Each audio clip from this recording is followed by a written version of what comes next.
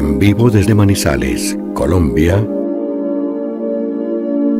la Santa Misa.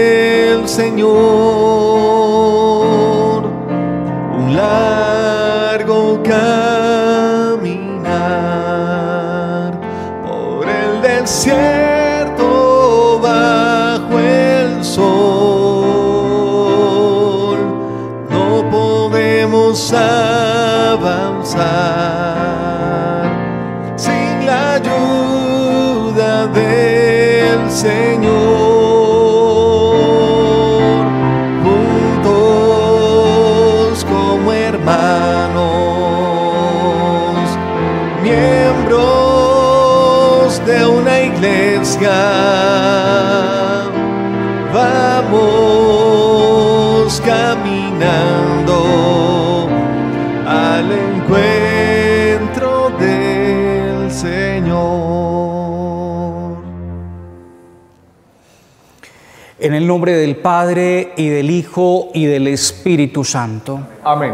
El Señor Jesús que nació de la Santísima Virgen María, permanezca siempre con todos ustedes. Y con tu espíritu. Santa María en sábado, todas las mañanas de los sábados recordamos a la siempre Virgen María. Y qué bueno podernos encontrar como siempre para celebrar el tesoro de la Eucaristía, el gran regalo que Jesús nos dejó, su palabra y su presencia real, su cuerpo, su alma, su sangre, su divinidad. Estamos transmitiendo como lo hacemos todas las mañanas desde la Arquidiócesis de Manizales y los sábados desde la capilla de la Curia Arzobispal.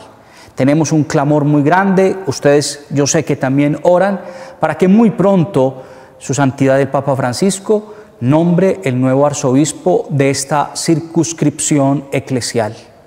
Un agradecimiento a todas las personas que son fieles a esta transmisión, que se suscriben y que nos siguen. Gracias por todos los correos y también gracias por los aportes económicos y las donaciones que ustedes hacen para apoyar la prensa católica. Las intenciones que tenemos en esta mañana son las siguientes. Recordando a nuestra madre y abuela Marina Marín Jiménez, quien partió a la casa del Padre el 21 de julio de 2019, intención de la familia Castro Marín, por el eterno descanso de Michael Duffy Germon Press y Elvira Roda de Gómez, intención de Ana María Gómez de Germon Press, por el eterno descanso de de mes de Manuel Antonio Tamayo Pérez en su primer mes de fallecido, intención de Luis Fernando Tamayo y familia, por el eterno descanso de Henry Alexander Puerto Ladino, intención de su familia, en acción de gracias por el cumpleaños 50 de Maribel Morales Vélez, intención de Carmenza Gómez, en acción de gracias por el cumpleaños de Mariana Cifuentes Menjura en sus tres años, intención de Gloria Menjura. En acción de gracias por los cinco años de vida matrimonial de Diego Fernando Arcila Patiño y Lorena Velázquez Velázquez, intención de sus padres. En acción de gracias en el cumpleaños de Carmenza Sánchez Quintero. En acción de gracias por el cumpleaños de Marisol Cardona Gallego en sus 50 años. Por la salud y el bienestar de John Bernal Sánchez, Nelson Boada Ramírez y Eliana Herrán, intención de su familia por el bienestar de Diana Valentina Mendoza Santa, intención de su familia, por la salud y recuperación de Cristian Samuel Pinto Arevalo, Tocayo. Oramos muy especialmente por este niño que está en un diagnóstico delicado, clamándole al Señor para que por los méritos de esta Eucaristía sea sano y también conforte mucho a toda la familia, especialmente a su mamá. Por la salud física y espiritual de Elena Giraldo y toda su familia. Y finalmente por la conversión de Juan Velázquez. Jesucristo el justo intercede por nosotros y nos reconcilia con Dios Padre. Abramos nuestro espíritu al arrepentimiento para acercarnos a la mesa del Señor.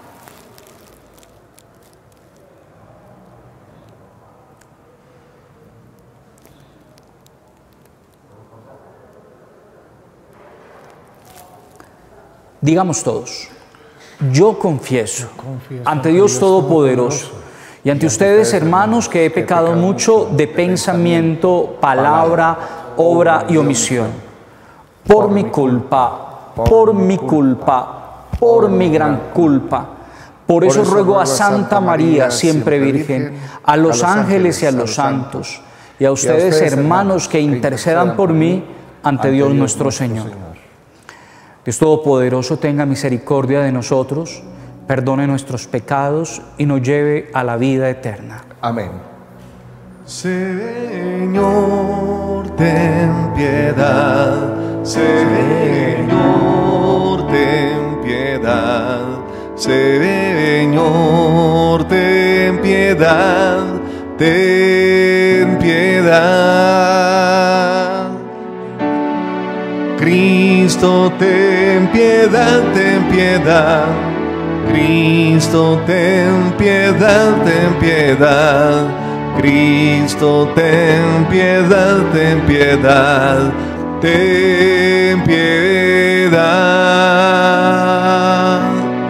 Señor, ten piedad. Señor, ten piedad. Señor, ten piedad, ten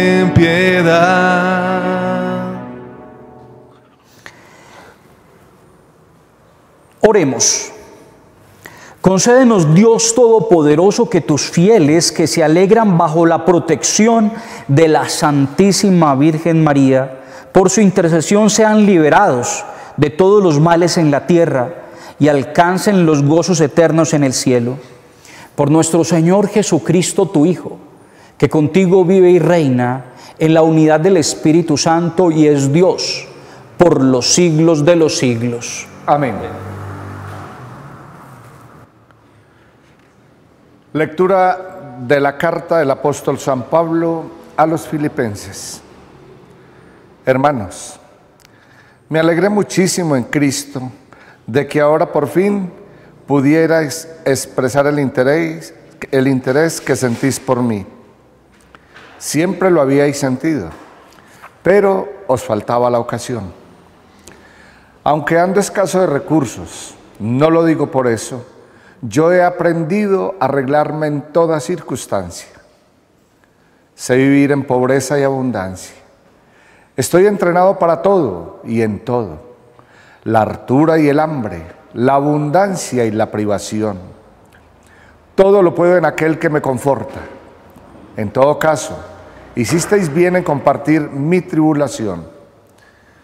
Vosotros, los filipenses, sabéis además que desde que salí de Macedonia y empecé a predicar el Evangelio, ninguna iglesia, aparte de vosotros, me abrió una cuenta de haber y debe. Ya a Tesalónica me mandasteis más de una vez un subsidio para aliviar mi necesidad. No es que yo busque regalos, busco que los intereses se acumulen en vuestra cuenta. Este es mi recibo, por todo y por más todavía. Estoy plenamente pagado al recibir lo que me mandáis con Epafrodito. Es un incienso perfumado un sacrificio aceptable que agrada a Dios. En pago, mi Dios proveerá todas vuestras necesidades con magnificencia, conforme a su espléndida riqueza en Cristo Jesús. Palabra de Dios. Te alabamos, Señor. Dichoso quien teme al Señor. Dichoso quien teme al Señor. Dichoso quien teme al Señor y ama de corazón sus mandatos. Su linaje será poderoso en la tierra. La descendencia del justo será bendita. Dichoso quien teme al Señor. Dichoso el que se apiada y presta y administra rec- rectamente sus asuntos. El justo jamás vacilará, su recuerdo será perpetuo. Dichoso quien teme al Señor. Su corazón está seguro, sin temor. Reparte limosna a los pobres. Su caridad es constante, sin falta, y alzará la frente con dignidad. Que se teme al Señor. Aleluya. Aleluya. Aleluya.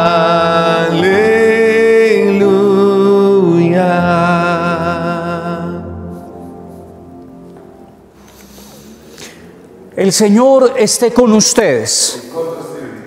Lectura del Santo Evangelio según San Lucas.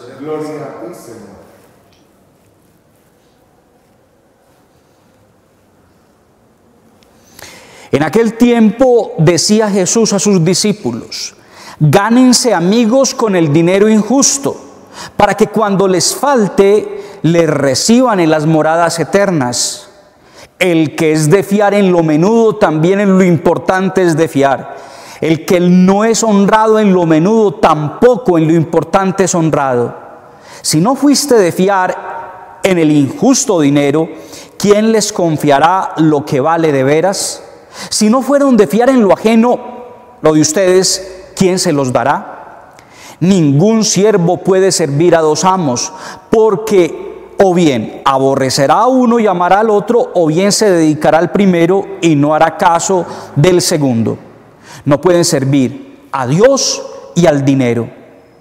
Oyeron esto los fariseos, amigos del dinero, y se burlaban de él. Jesús les dijo, ustedes presumen de ser observantes delante de la gente, pero Dios los conoce por dentro.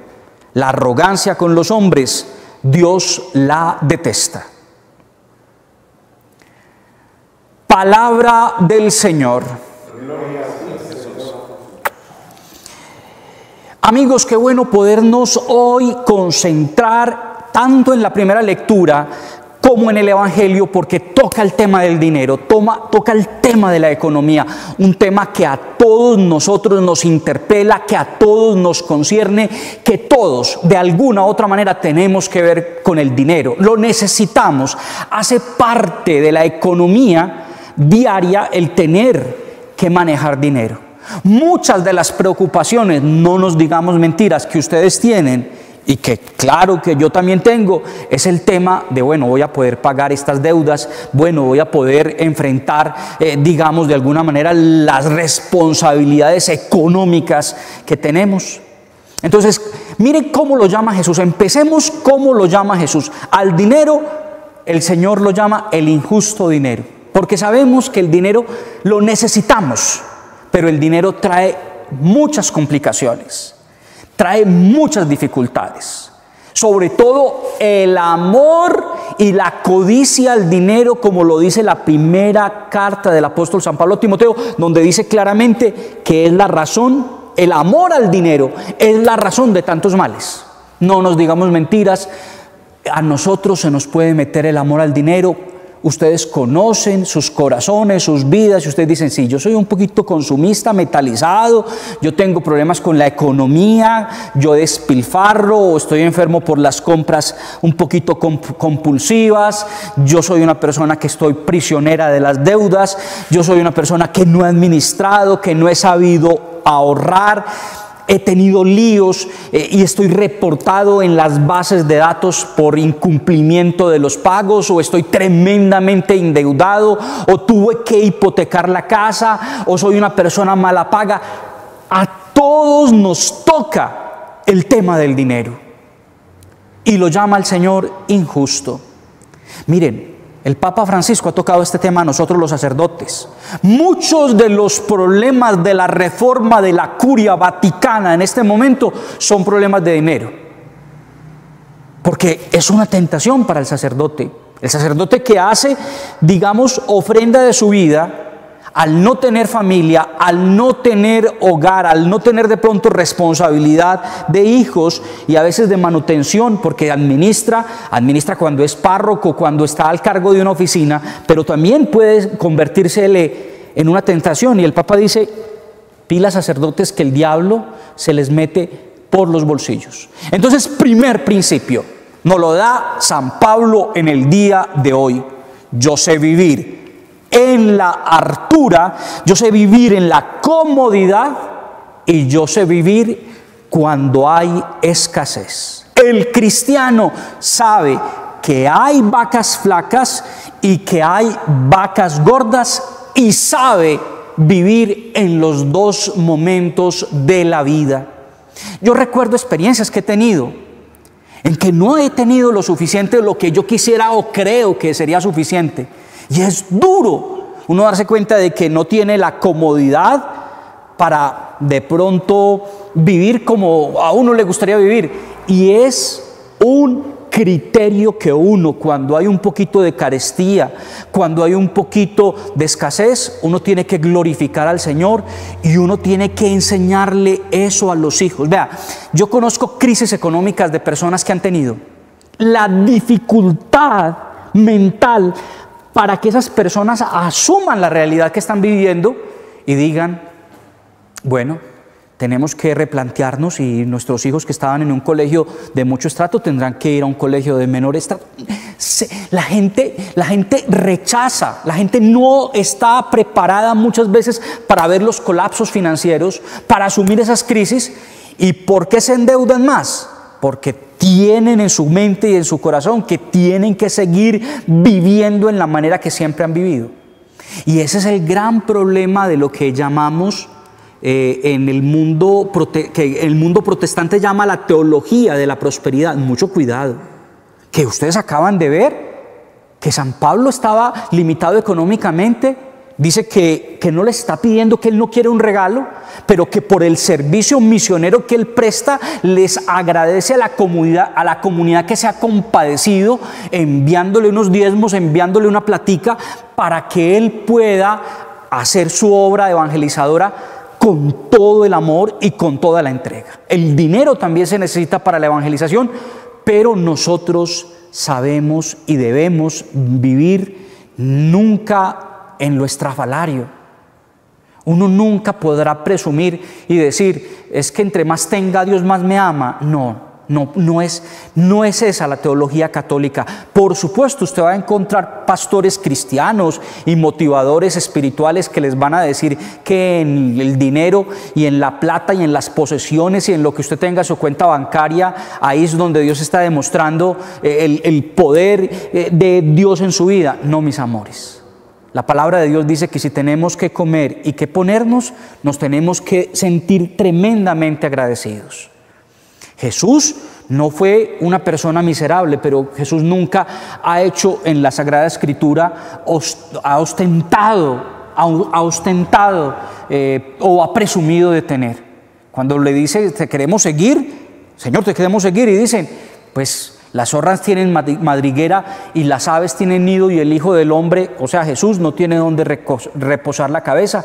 Él era un misionero itinerante, tenía una bolsita que la administraba Judas y que la administró mal, porque de todas maneras para la evangelización se necesita el dinero, pero tenemos que tener mucho cuidado en el uso del dinero. El Papa Francisco viajó a Nápoles y contó esta historia que se la contaron en Argentina, que había una monja que le encantaba, administraba un colegio y le encantaba la platica, le encantaba. Eso a veces se nota, no solamente en la vida religiosa, sino en toda la vida, gente que le encanta la platica. Y que en la sala de profesores se desmayó. Un día se desmayó la monjita, la rectora, y que un profesor dijo, cojan un billete de, 100 pesos y pónganlo en la, en la nariz y verá que ahí mismo se levanta. Yo sé que es un poco chistoso y un poco pasado esta historia que contó el Papa Francisco, pero tenga mucho cuidado. sus estados de ánimo, piense. Yo le ruego que piense en sus estados de ánimo. Sus estados de ánimo se mueven, depende del dinero que haya en sus bolsillos. Porque el dinero es bueno en los bolsillos, pero muy malo en el corazón. El dinero es muy buen siervo, pero muy mal amo.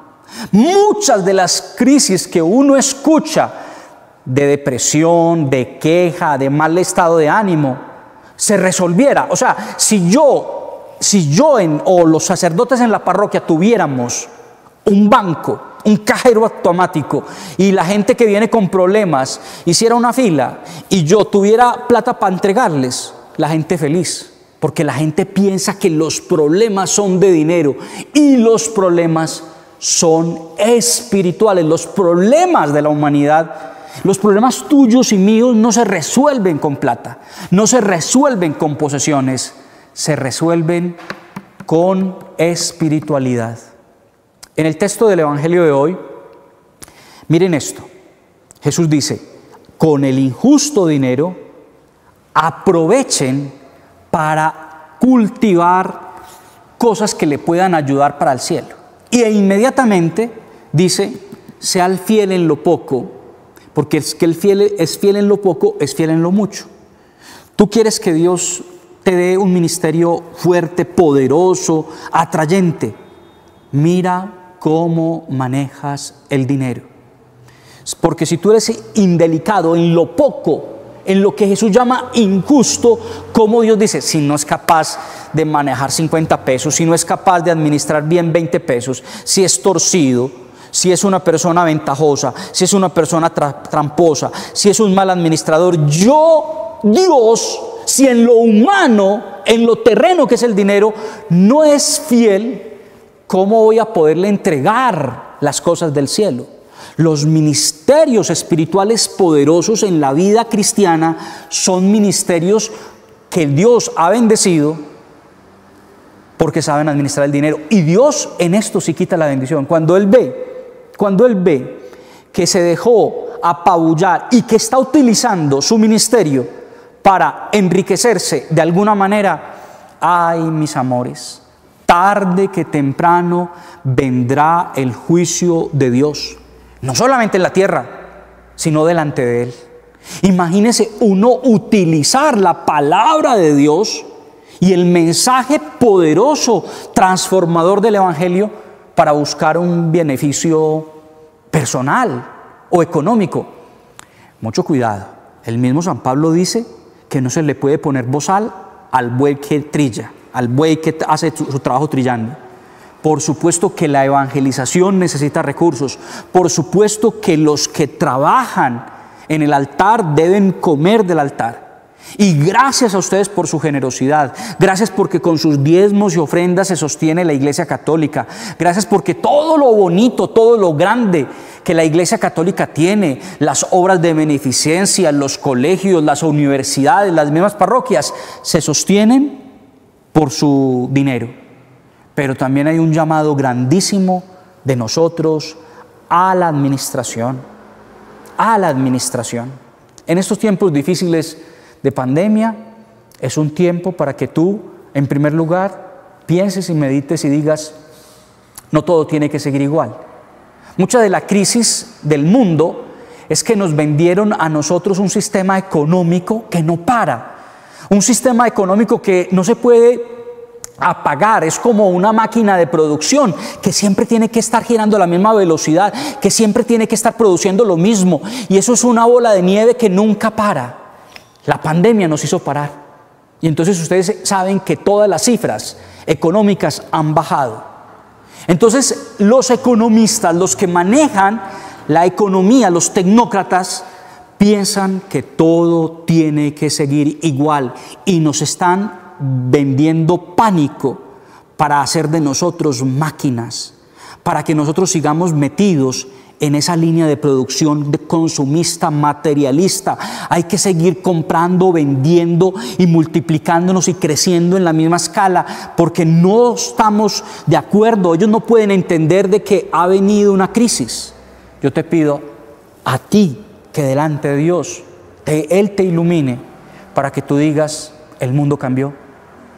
Y por lo tanto mi vida económica, mi vida administrativa, el dinerito que yo me gane, lo tendré que saber manejar muy bien, lo tendré que tasar, tendré que separar, si me tengo que abstener, atención, si tengo que dejar de pronto de comprar un mercado que vale tanto por un mercado un poquito más bajito, enseñarle a los niños.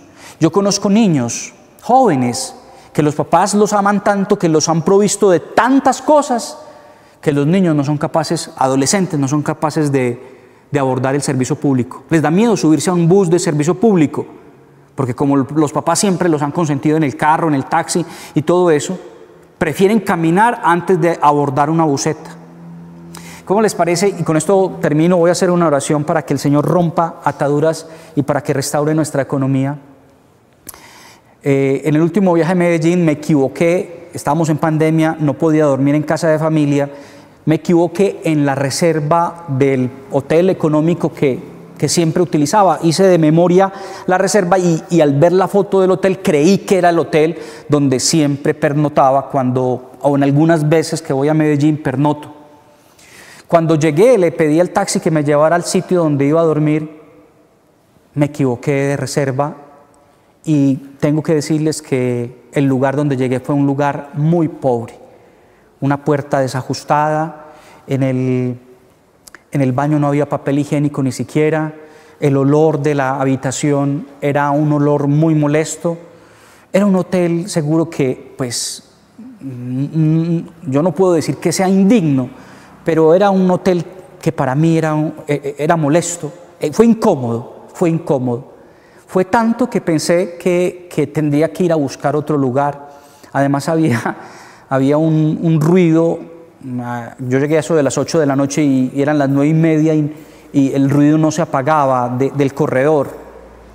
Y empecé como con un espíritu de me tengo que ir, tengo que buscar un sitio, esto no es digno para mí, pero, pero me di cuenta de que que me estaba llenando de orgullo y de soberbia y de que debía tener que hacer un acto verdadero de humildad. ¿Cómo era que yo ya no era capaz de dormir en un sitio sencillo y simple? No tenía que tener, ni tenía que irme para un eh, hotel de cinco estrellas, pero uno se, va, uno se va acomodando y uno va olvidando la simplicidad de la vida. Es importante, importante que cuando haya abundancia, estemos felices, pero que cuando haya escasez, también estemos felices. Amén. Pongámonos de pies para hacer nuestra oración de restauración económica.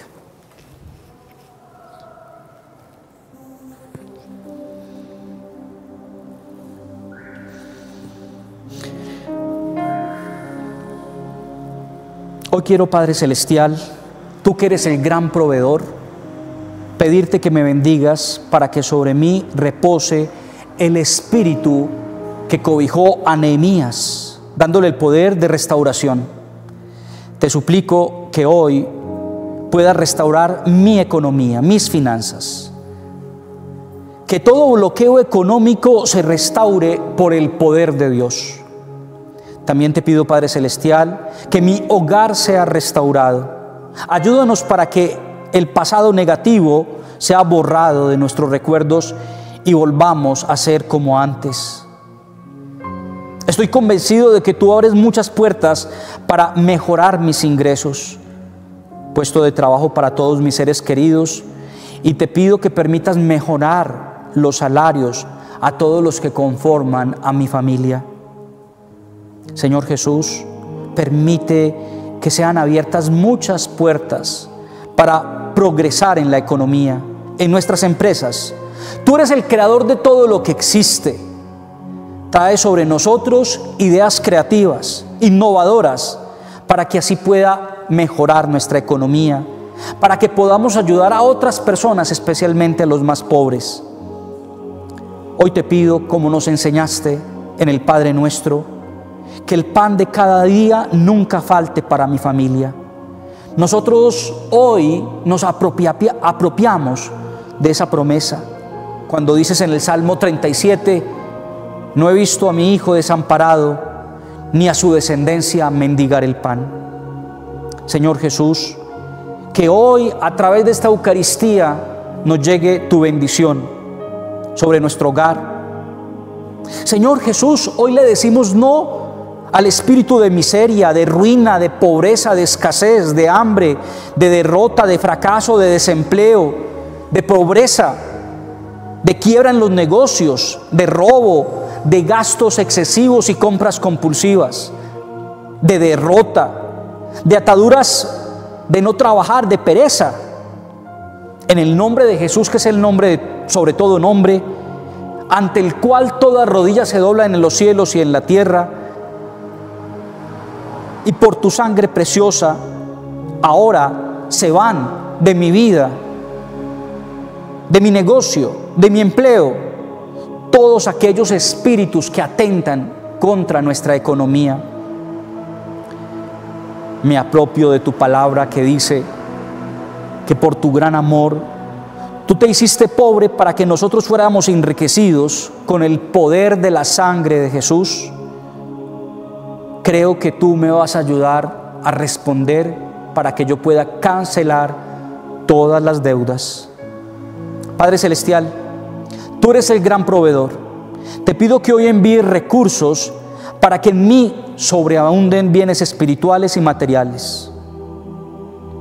Señor Jesús, así como el apóstol Pedro canceló la deuda de impuesto milagrosamente cuando hiciste que a través de un pez encontrara esa moneda para que cubriera ese pago, también hoy te pido que me concedas una pesca milagrosa para cubrir mis compromisos económicos, facturas pendientes, cuentas bancarias, hipotecas, cotas del carro, de la casa, pagos del colegio y de las universidades. Señor Jesús, si a través de un maleficio, de una brujería, de un hechizo, de malos deseos, de malos pensamientos que han enviado contra mí, hoy Hoy, por los méritos de esta Eucaristía, yo creo que nadie puede hacerme daño alguno. Son como una semilla que no va a dar frutos. Gracias Señor porque creo en la victoria. Y creo que todos los que me hacen guerra quedarán avergonzados. Gracias Señor por todas las bendiciones que llegan a mi vida y a mi economía. Amén.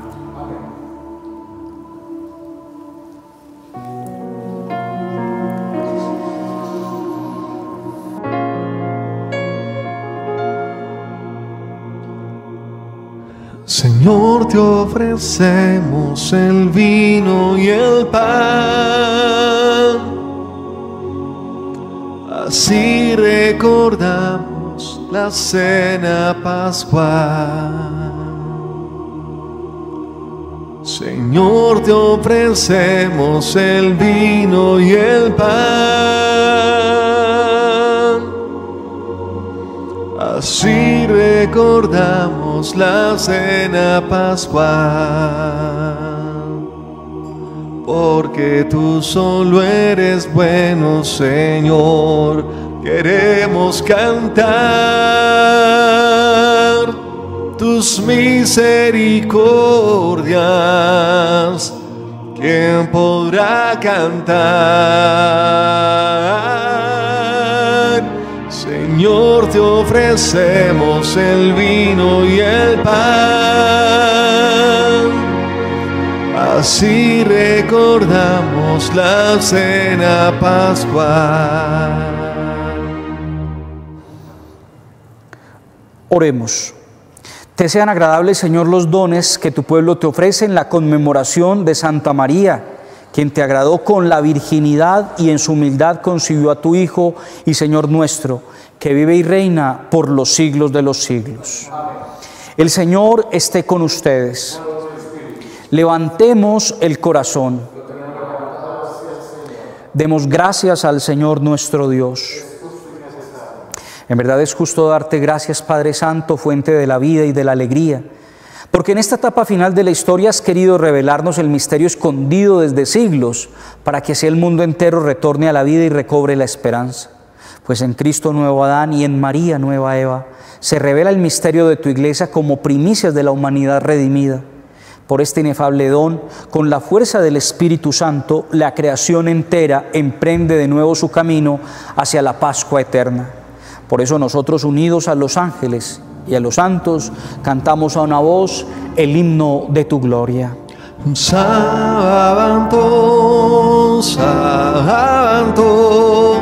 Santo es el Señor, Dios del universo.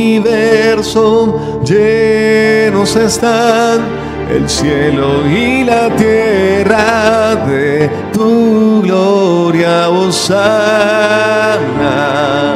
Osana, Osana. Osana en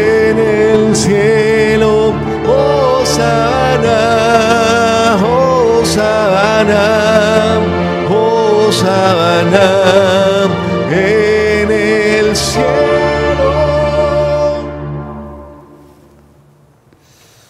Santo eres en verdad, Señor, fuente de toda santidad. Por eso te pedimos que santifiques estos dones con la efusión de tu Espíritu, de manera que se conviertan para nosotros en el cuerpo y la sangre de Jesucristo nuestro Señor, el cual cuando iba a ser entregado a su pasión voluntariamente aceptada, tomó pan, dándote gracias, lo partió y lo dio a sus discípulos diciendo, tomen y coman todos de él, porque esto es mi cuerpo que será entregado por ustedes.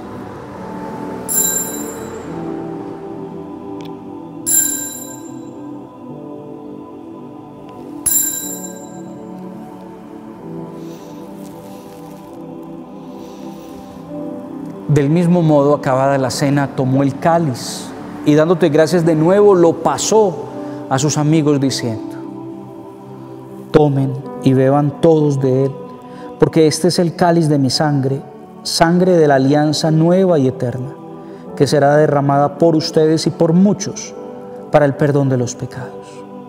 Hagan esto en conmemoración mía.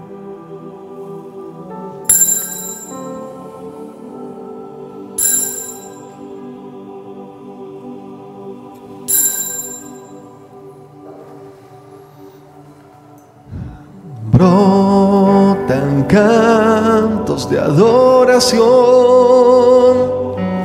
brotan himnos de adoración para ti Jesús, para ti Señor, solo para ti.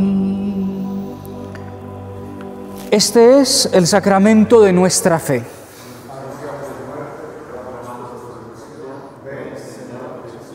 Te pedimos humildemente que el Espíritu Santo congregue en la unidad a cuantos participamos del cuerpo y sangre de Cristo. Acuérdate, Señor, de tu iglesia extendida por toda la tierra y con el Papa Francisco y todos los pastores que cuidan de tu pueblo, llévala a su perfección por la caridad. Acuérdate también de nuestros hermanos que durmieron en la esperanza de la resurrección. Te pido muy especial, Señor, en este momento por el niño Cristian Samuel Pinto Arevalo. Sánalo, Jesús. Pasa, Señor, por su cabeza. Destruye, Señor, todo tumor maligno. Haz de él una criatura nueva. Ten misericordia de todos nosotros, especialmente de nuestros hermanos que han muerto, y recíbelos con amor en la alegría de tu casa. Y así con María, la Virgen, Madre de Dios, su esposo San José, los apóstoles y cuantos vivieron en tu amistad a través de los tiempos, merezcamos por tu Hijo Jesucristo compartir la vida eterna y cantar tus alabanzas.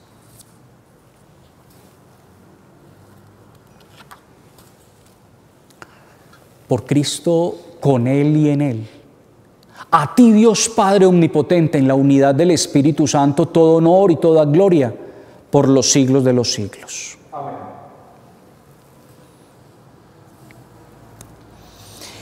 No olvidar que nuestro tesoro es Jesús, Él es nuestra gran riqueza, nunca perder la mirada de Él. No le podemos servir a dos señores. Si nuestro corazón jala para donde hay plata, plata, plata, tarde que temprano nos vamos a olvidar de Dios. Y tarde que temprano, cuando hay amor al dinero, nos lo decía San Pablo, hay arrogancia. Las personas que su Dios es el dinero, son personas tremendamente arrogantes. Que nosotros siempre seamos humildes y que sepamos darle el lugar a todo, el lugar que se merece Dios y también el lugar que se merecen las cosas, que se merecen las cosas materiales. Digamos, Padre nuestro que estás en el cielo, santificado sea tu nombre, venga a nosotros tu reino, hágase tu voluntad en la tierra como en el cielo. Danos hoy nuestro pan de cada día, perdona nuestras ofensas, como también nosotros perdonamos a los que nos ofenden. No nos dejes caer en la tentación y líbranos del mal. Líbranos de todos los males, Señor, y concédenos la paz en nuestros días, para que, ayudados por tu misericordia, vivamos siempre libres de pecado y protegidos de toda perturbación mientras esperamos la gloriosa venida de nuestro Señor y Salvador Jesucristo.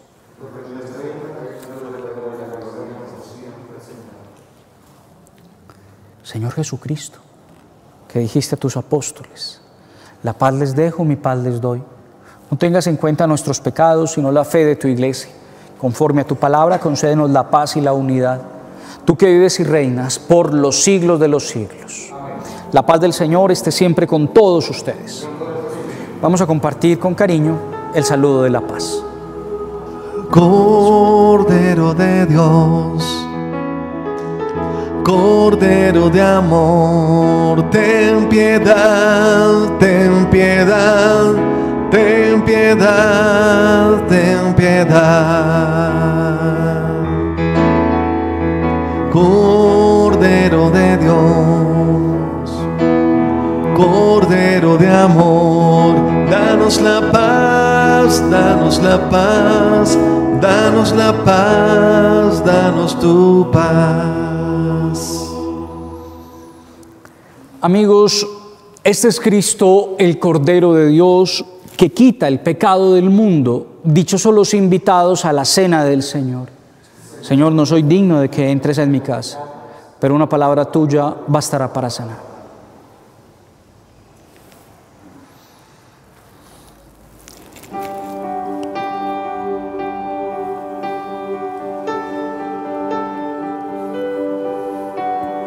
Cierro mis ojos y busco un momento de paz un momento donde te pueda hallar conmigo. Y mi corazón fatigado quiere descansar. Por eso te he buscado, Señor, por tantos caminos. Cierro mis ojos y busco un momento de paz un momento donde te pueda hallar conmigo. Y mi corazón fatigado quiere descansar. Por eso te he buscado, Señor, por tantos caminos. Vengo a ti, porque eres la paz de mi alma, vengo a ti, porque solo tú me das calma, mil caminos ya busqué, muchas puertas ya toqué.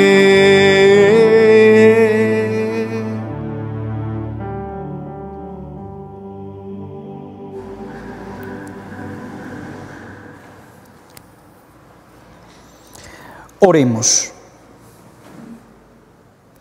Ah, Señor, que alimentados con el manjar celestial, te sirvamos con una vida pura, según el ejemplo de la bienaventurada Virgen María, y que con ella te exaltemos con sinceras alabanzas. Por Jesucristo nuestro Señor. De nuevo, gracias a todos ustedes que siempre nos acompañan. Gracias por recomendar el canal, suscribirse y enviar esta Eucaristía o cualquier otra de las Eucaristías de la semana a sus amigos y familiares para que ellos también se suscriban y también le den pulgar arriba. Así el canal de YouTube y Facebook va a motivar a que muchos vean lo que producimos. Estamos ya muy cerca del tiempo de Adviento, tenemos sorpresa, estamos también cerca de la Navidad, tenemos sorpresa para todos ustedes, estén muy pendientes, seguimos trabajando en la escuela de sanación y restauración que les hemos prometido, no se me ha olvidado. Gracias por sus buenos comentarios y también gracias por las correcciones que nos hacen amorosamente. El Señor esté con ustedes. La bendición de Dios Todopoderoso, Padre, Hijo y Espíritu Santo, descienda sobre ustedes y los acompañe siempre. En el nombre poderoso de Jesús, pueden ir en paz. Nunca hubo mujer así que le amara como tú. Que entregara todo su amor al amor, eterno amor. Viviendo cada día para Él, amando sin reservas como ama Él.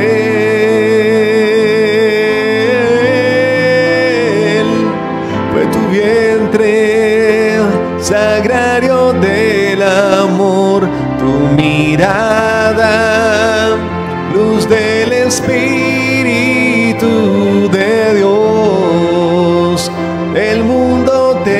a ti en el rostro de Jesús.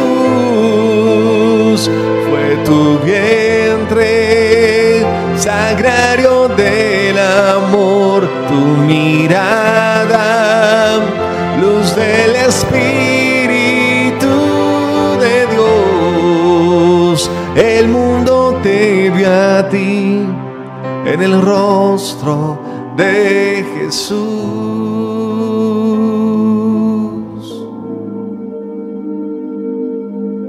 Vivo desde Manizales, Colombia, la Santa Misa.